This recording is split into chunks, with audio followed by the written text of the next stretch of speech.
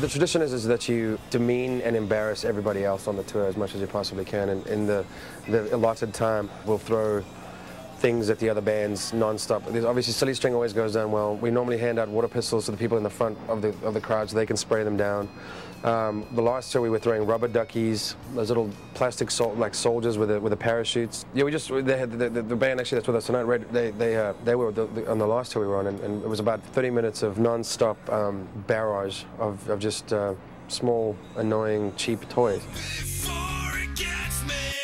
But Seether isn't the only one dishing out the punishment. Opening band Red returned the favor on a tour that wrapped up last December.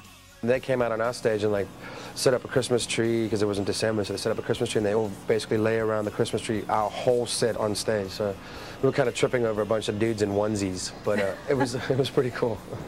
Dudes in onesies? Yeah, and they even had those little butt flaps with the buttons. It was uh, I didn't even know you could find those anymore, so I'm, I'm, I'm desperately in search of one of those now. So it's a new thing I'm going to be trying soon.